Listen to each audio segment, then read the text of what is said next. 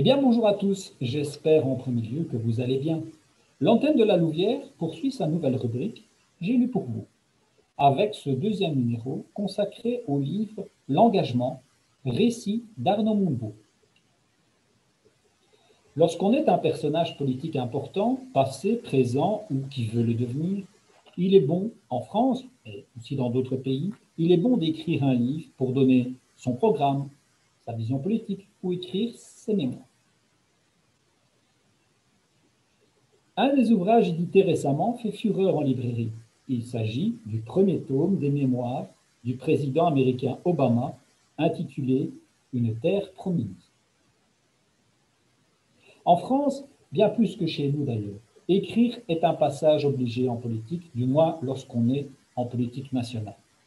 Il en existe beaucoup de personnages célèbres français qui ont publié des mémoires et autres en la matière. Prenons évidemment le cas du général de Gaulle et ses mémoires.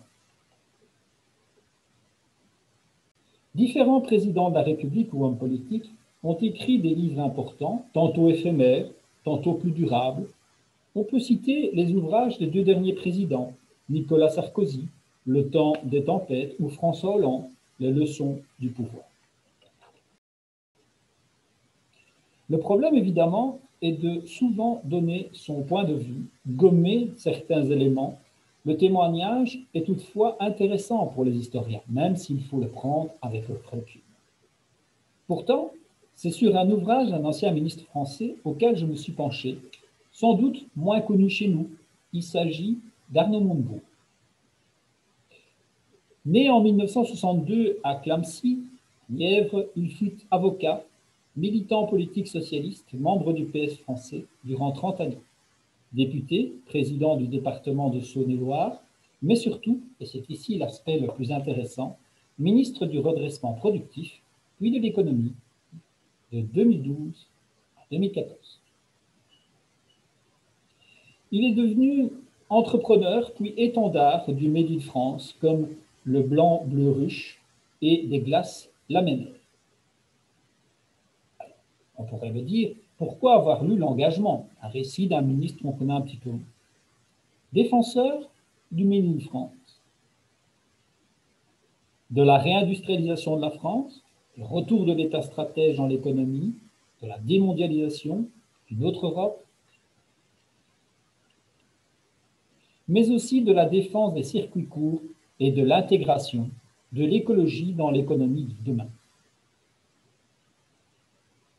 Du desserrement de l'étau financier européen, de la remise à plat de la prison des dettes, des plans de relance économique modernes. Comme il a dit très bien, j'ai écrit ce récit intime et sentimental du pouvoir, comme je l'ai vécu, une odyssée furieuse à l'intérieur d'une machine infernale. 2012, François Hollande, candidat du Parti socialiste, emporte l'élection présidentielle au détriment de Nicolas Sarkozy, souvenons-nous.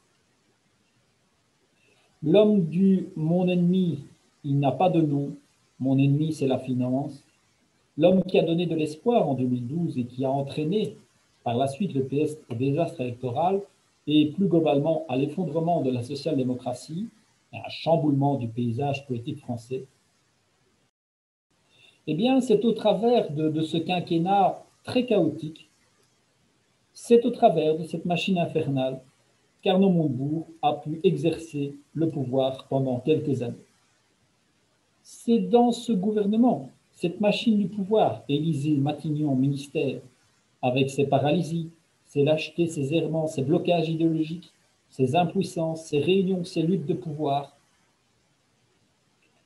l'homme du redressement productif tente de mettre fin au saignées de la désindustrialisation de son pays, entamée depuis des années, de la mondialisation qui n'est pas toujours très heureuse pour beaucoup, du dépeçage d'entreprises et du blocage idéologique des dirigeants face à certaines idées ancrées.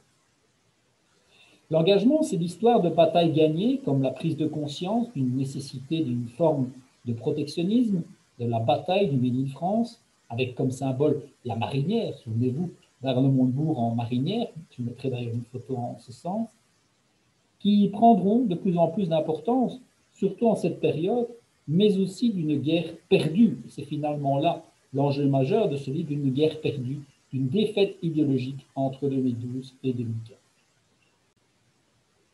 Et ce n'est pas banal pour un homme politique de parler de défaite.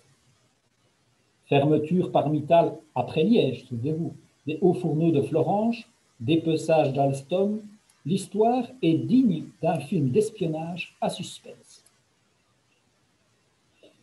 Agenouillement devant l'empire américain de ses intérêts, défaite face à la technostructure administrative européenne nationale, le super pouvoir des hauts fonctionnaires et hommes de l'ombre, la naissance du macronisme dans le ventre même, comme il le dit, de François Hollande, cette politique du en même temps qui tourne toujours plus à droite, cette politique qui fonce face à un mur européen et allemand du critère de convergence.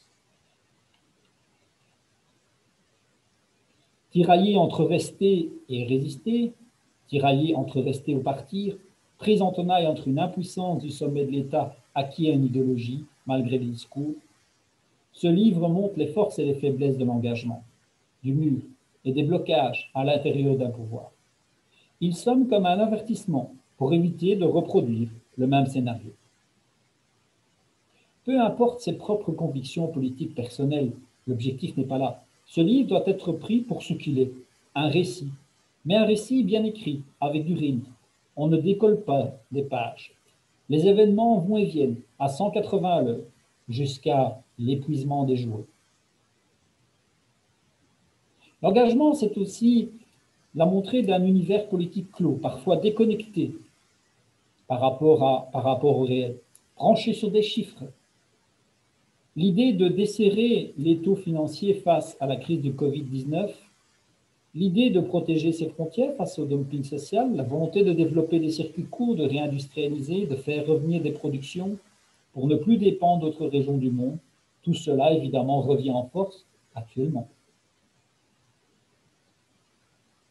Sur le fond, ces idées toujours à Montebourg le portera-t-il comme candidat à l'élection présidentielle de 2022 Oh, nous verrons bien, en spectateur du nord de Montbeuge, du nord de Valenciennes, du nord de Charleville-Mézières. L'élection des élections en France étant la présidentielle française, nul doute que des scénarios à rebondissement verront le jour comme en 2017. Mais en ce sens, ce sera à suivre.